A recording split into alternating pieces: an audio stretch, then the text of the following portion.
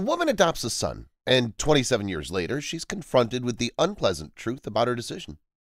Ingeborg McIntosh's family had taken in more than 125 foster children during the course of her life. Some stayed for a short period of time, while others stayed for an extended period of time. Jordan, on the other hand, had captured her heart in a way that none of the other children had. Jordan was just a few months old when she took him in. His mother was unable to care for him, so Ingborg came in to assist her. She had a strong desire to adopt him from the moment she took him into her home. Unfortunately, his biological mother was adamant about not doing so. It was her desire to be adopted by a black family. Ingborg tried unsuccessfully for the first four years of Jordan's existence to persuade his biological mother to allow her to adopt him, but the birth mother rejected each and every time. Ingborg was eventually able to adopt Jordan after he was turned down by all the black families who were interested in adopting him. She decides to adopt a boy who no one else wants. 27 years later, she discovers the truth that he'd been keeping hidden. After being questioned about why she was so adamant about adopting the tiny boy, Ingborg stated that the first time she held him in her arms, it was love at first sight for her. The tiny child, she claims, had already become a member of their family during the four years she spent battling to have him adopted. She states that he would be considered a member of her family, regardless of whether he was legally adopted to do so. Jordan's fifth birthday came just a few weeks after she signed the final adoption paperwork, and they went before a judge to get the adoption finalized. He was always considered a member of the family no matter what. Jordan was now officially recognized as a member of the McIntosh family under the law.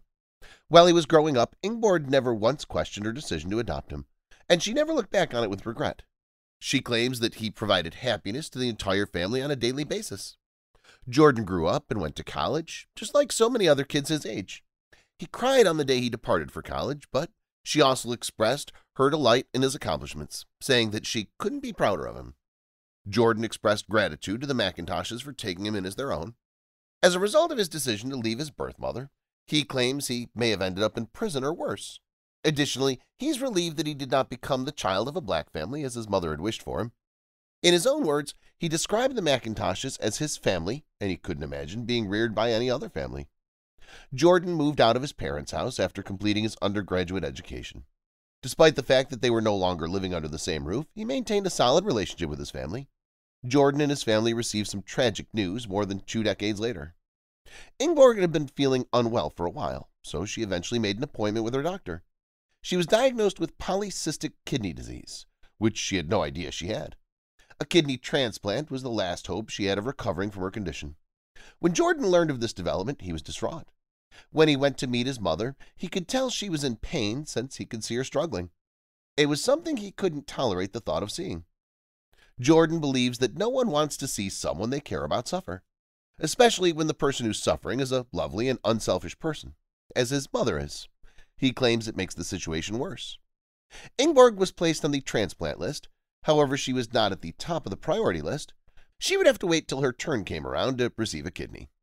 Only a direct gift would provide her with the immediate benefit of a kidney transplant. A kidney donor is someone who donates their kidney to a single individual.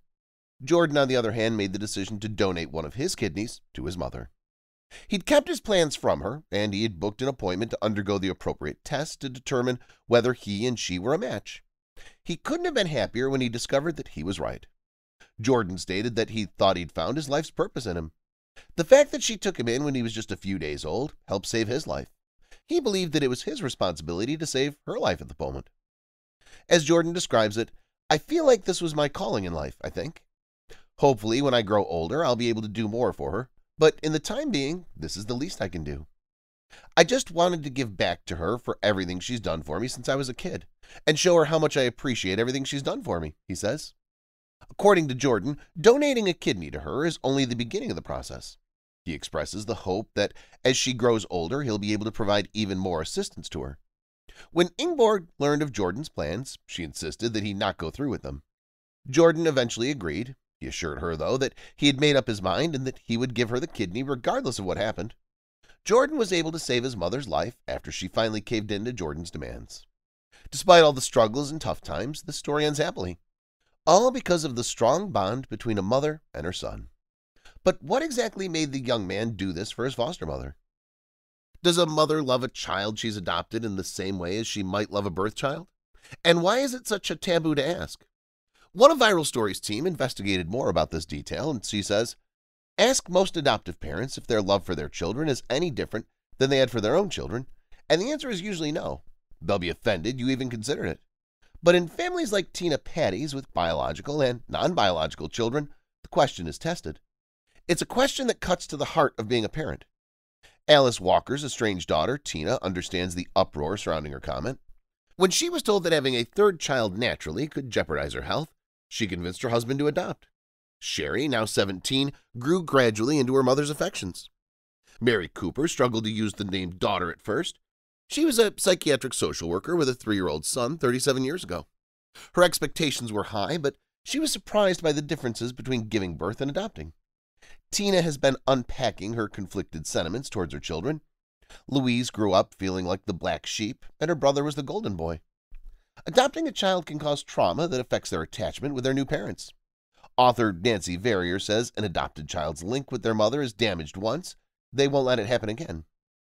Raising an adopted child is no different than raising a biological child. Genes continue to play a role in the relationship. Parents are surprised, hurt, and resentful when their adopted child doesn't react the way they'd prefer. Some parents try to make amends. As older children who have experienced neglect or abuse are adopted nowadays, they require what Adoption UK director Jonathan Pearce calls therapeutic parenting. Of course, this isn't like parenting a biological child or an adopted child 30 or 40 years ago. Parenting, like any other tough job, requires continual training, he argues. What does that signify from the feelings? They are, is love different? I don't know. It varies from family to family. In her opinion, the obligation for adoptive parents to parent therapeutically gives a small proportion of them a psychological out, which undermines their bond with their children. I worked with one adoptive mother who stated, If it comes to it, I'll keep my kids and leave my marriage. That would be expected of a biological parent, but for an adoptee, it was incredibly moving. With a few adopters, there's a thought that if they can't take it anymore, they'll give these kids up. Indeed, one in every five adoptions in the UK fails. Of course, that implies that 80% make it. At least till then, and Lisa Bentley, who adopted a difficult 14-year-old while already having four biological children, never considered giving up. I'd say my love for her is stronger and more powerful than my love for my birth children, she says. It's come through huge battles and unwavering determination, she says. It's simple to bond with her kids, but it's not so easy for a non-biological daughter.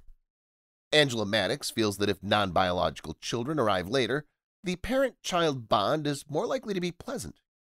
Having virtually known my children before they were born, the emotion of almost knowing your child before they were born took me by surprise.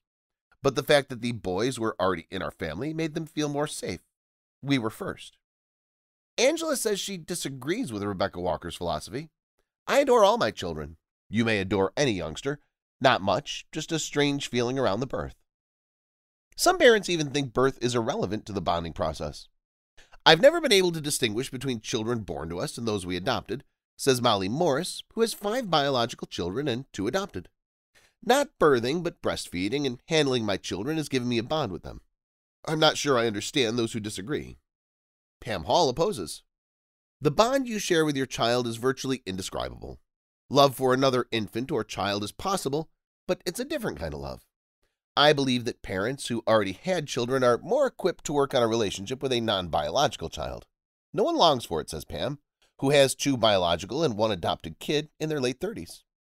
The reasons for adopting varies between birth parents and adoptive parents, according to Pam, a psychiatric social worker and analytical psychotherapist. They aren't adopting to replace their own baby because they're infertile. I've dealt with adopters who were tortured with guilt and they didn't have the same sentiments for their adopted child. That's why we should stop pretending that adopting is the same as having your own kids. I'm not proposing parents explain every nuance of the difference to their kids. That'd be bad. But they must own and accept the feeling. Adoptee Lucy Houle, 25, concurs.